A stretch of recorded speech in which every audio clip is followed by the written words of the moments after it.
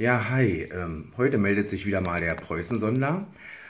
Ähm, ich habe jetzt ein paar Stunden, äh, bin ich mal so ein bisschen meine Funde durchgegangen und habe ordentlich gesäubert. Ähm, ich sondle jetzt so seit, na, knapp zwei Jahren. Also ein und ein Dreivierteljahr ungefähr. Und ähm, ja, das kennen sicherlich von euch auch einige dass man am Anfang, also ich, da war nur, nur, nur Sondeln wichtig. Ich bin nach Hause gekommen, habe mein Krempel ausgepackt, ja nicht groß sauber gemacht und bin quasi am nächsten Tag wieder los. Und so ist es, dass jetzt äh, immer noch viele Fundsachen von mir immer noch nicht gesäubert sind. Und da habe ich heute mal ähm, richtig zugeschlagen. Also es geht jetzt hier hauptsächlich um Schmuck und Bleifiguren und ja, sowas halt. Ähm, also eins ist ja mal Fakt. Die, ähm, also so in den 20er Jahren, glaube ich, ja, da kamen so diese Strasssteine so auf, ja. Und das sind alles so, das sind alles Funde, denke ich, die so aus den, also wenigstens 20er Jahren sind. Vielleicht sind sie aus den 30er, 40er, mein Gott, wer weiß, so ja, aus den 50er, Weiß man halt nicht. Da stand irgendwas, bilde ich mir ein, ähm, was jetzt auch natürlich nicht so wichtig ist, mit Tschech, mit Tschechoslo, schlecht, Tschechoslowakei, genau. Ja, äh, wenn man sowas findet, das ist immer sehr interessant, weil ähm, das Fundstück an sich ist ja dann meistens mit Erde bedeckt, also das Metall, und dann glitzern immer nur ab und zu mal so die Steine dann durch den Dreck so durch. Deswegen kommt sowas immer ziemlich cool. Ähm, das hier, ja, da sind im Übrigen die, die Klamotten sind vollkommen äh, zerkratzt. Deswegen blinkt und blunkt hier überhaupt nichts.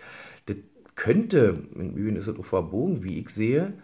Ansonsten hätte ich gesagt Manschettenknopf, aber das glaube ich dann eher doch nicht, weil hier fehlt nämlich das Gegenstück, deswegen wurde das wahrscheinlich verloren und das wurde vielleicht durch eine Mütze gezogen oder was. Ne? Also das wurde so durchgesteckt, dann hier das Gegenstück rauf und dann war das befestigt. Ja, und ähm, das hier, naja, das ist natürlich jetzt auch überhaupt nichts Besonderes, ist klar.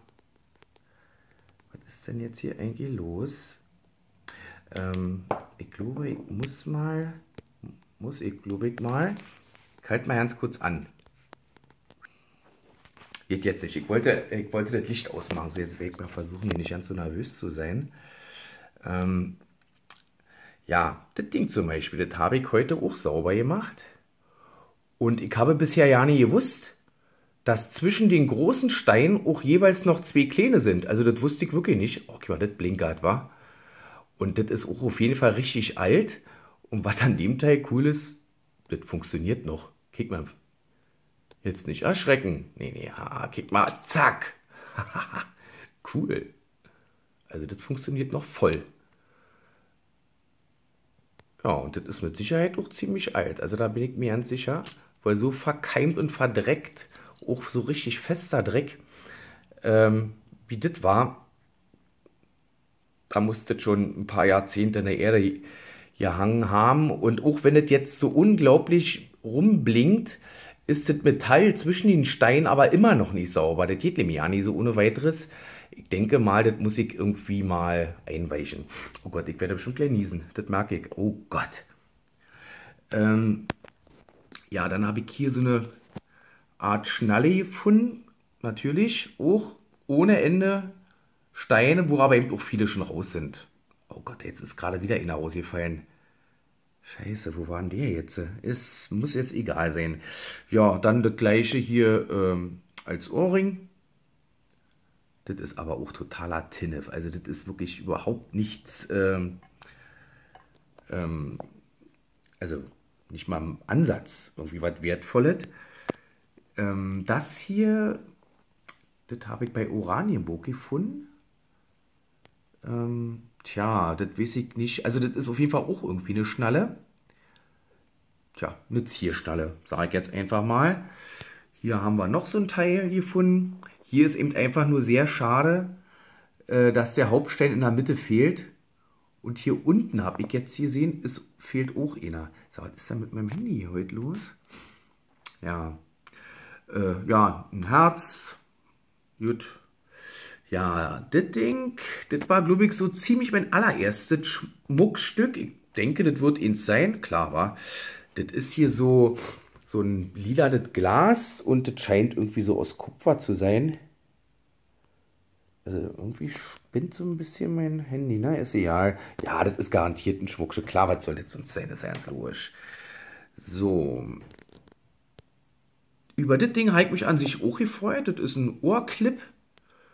Äh, Jakobsmuschel. Ja, fand ich ganz süß. Also gut, irgendwie wahrscheinlich ist das...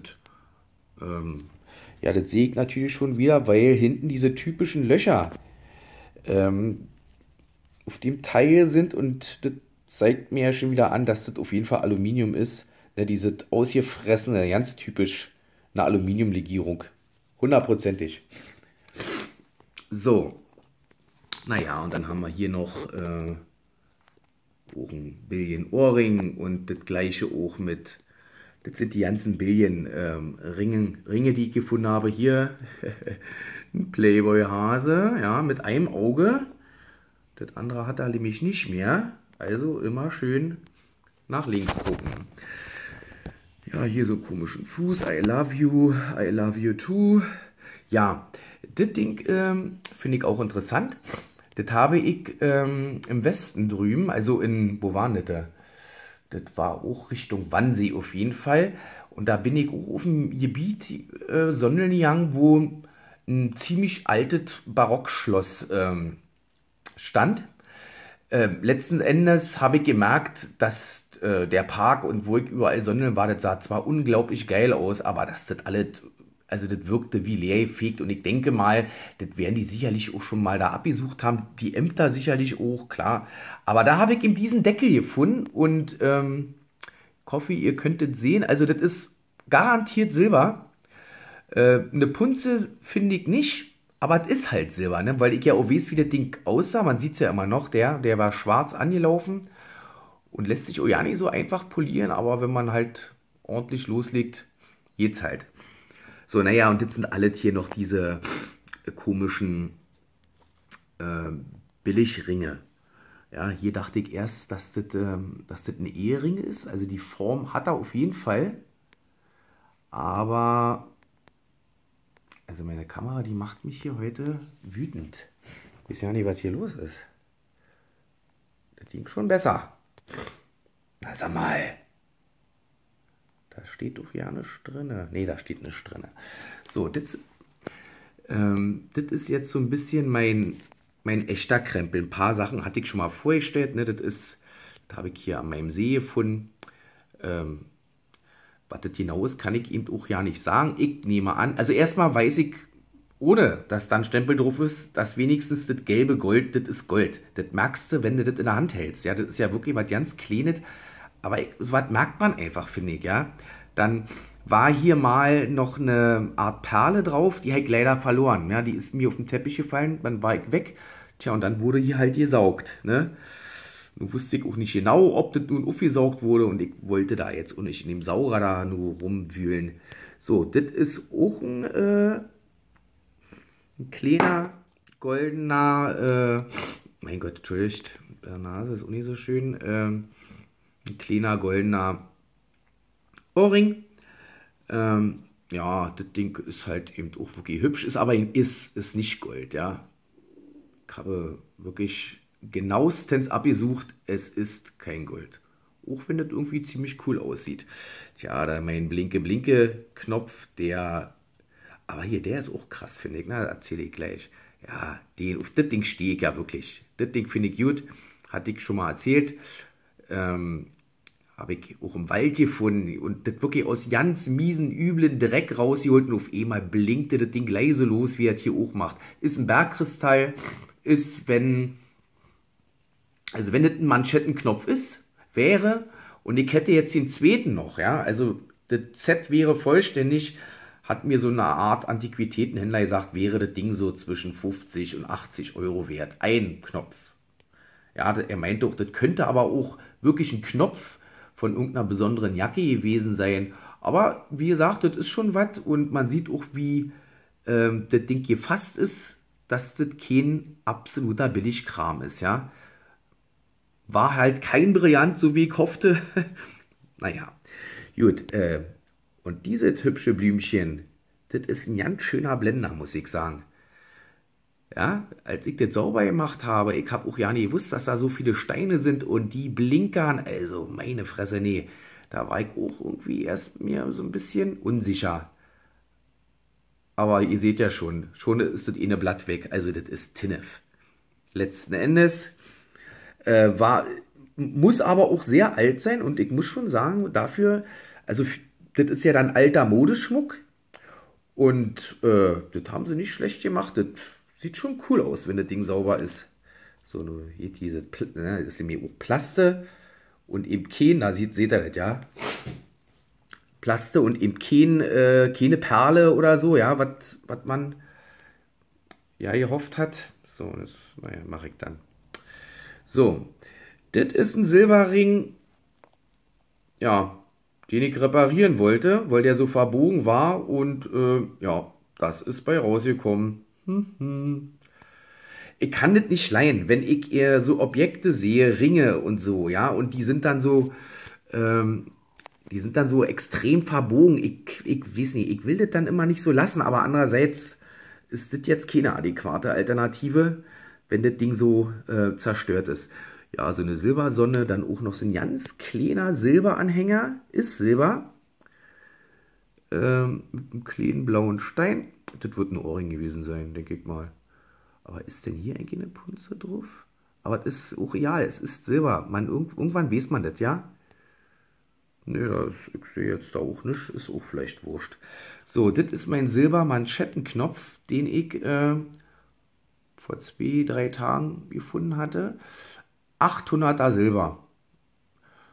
Ähm, der Silberpreis, also bei ähm, der Silberpreis liegt momentan beim Gramm, ähm, wie war denn das? Beim Gramm, ähm, wie war das? 50 Pfennig. 50 Pfennig. Und dadurch, dass das jetzt hier 800 da ist, so hatten sie das irgendwie ausgerechnet, also irgendwie ist äh, bei 800 da ähm, das Gramm 40 Pfennig wert. Ja, und wie viel werden das sein? 3 Gramm. Also sind das mal satte 1,20 Euro.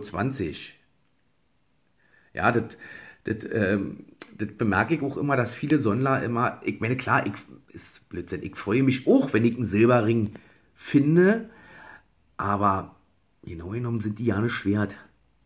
Ne, ich meine, wenn die dann aber so cool aussehen, so wie der hier, ja, dann ist das schon schicki. Das ist auch ein schicker.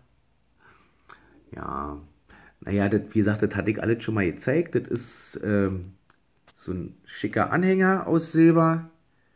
Ja, ist hinten so eine Punze drauf. Ähm, ja, schicke Teil. So ein bisschen Zeit habe ich noch. So, das Ding ist auch Silber.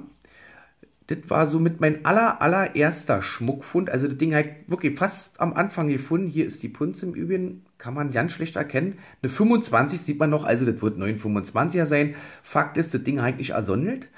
Das habe ich auf dem Weg in den, in den Wald auf der Straße gefunden. Und da sind, weiß ich nicht, mindestens siebeneinhalb Autos rüber gerammelt. Ja, das habe ich schon wieder so leicht nachgebogen, aber das knirscht eben auch schon wieder. Also lasse ich das so. So, ich muss jetzt erstmal ausmachen und dann geht das gleich weiter.